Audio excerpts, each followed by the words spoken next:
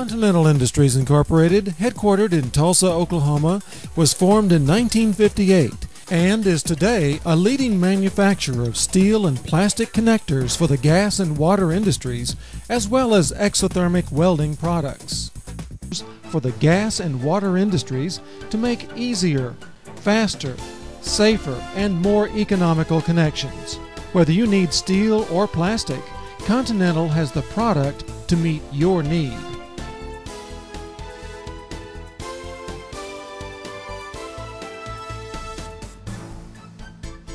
Test their endurance way beyond the stresses they'll ever be subject to in actual field conditions.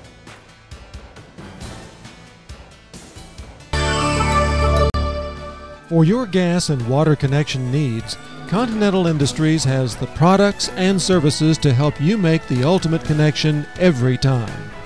For additional questions or comments, please call 1 800 558 1373 to locate a regional sales representative nearest you or visit our website at www.conind.com.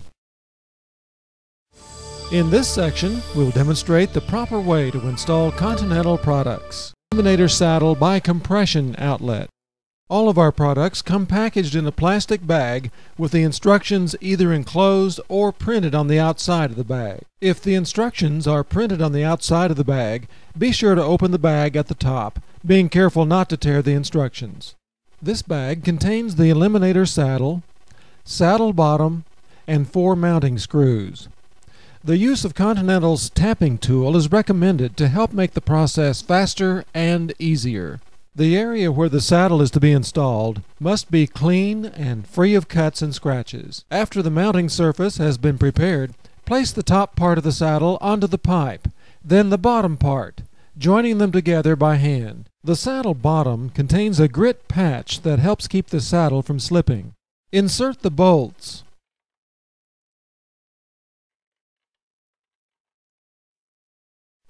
and then tighten them in a crisscross pattern, making sure the saddle does not rotate or slip around the pipe.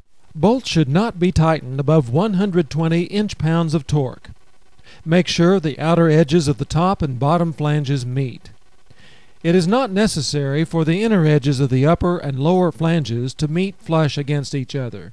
Before you install the pipe in the outlet, make sure it's the correct size. Make sure the pipe end is clean free of grease and dirt. Make sure the pipe is cut square. After cutting the pipe end square, measure and mark the proper stab length according to the instructions on the bag. Loosen the compression nut until the seal ring is no longer compressed. Insert the pipe until it bottoms in the outlet. Turn the compression nut hand tight, then use a wrench until it shoulders against the outlet and there is no gap. Do not over tighten. The line marked for the stab depth should be no more than 3 quarters of an inch from the face of the compression nut. Now remove the cap. Using Continental's tapping tool, insert the tool into the punch and screw down the punch until the stop on the tapping tool contacts the top of the T. The tap is now complete. To allow flow through the service, back the punch up until the top of the punch is flush with the top of the T. It is important that the top of the punch does not protrude past the top of the T. Replace the cap and the installation is complete.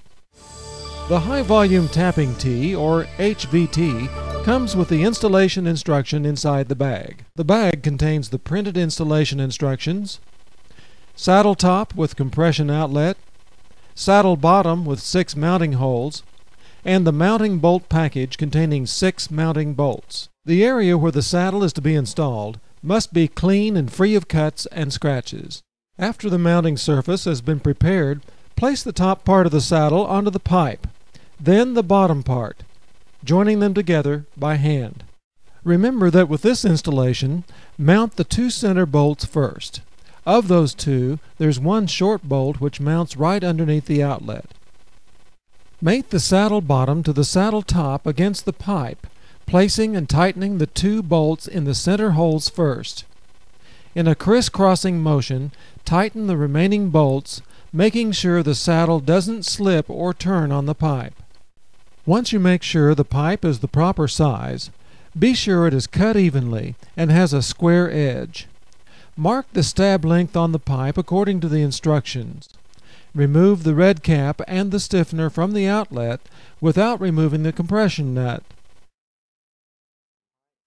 Compression nut should be screwed in by hand until you see three or four threads in the back end. Place the stiffener into the pipe end until the knurl of the stiffener meets the pipe end.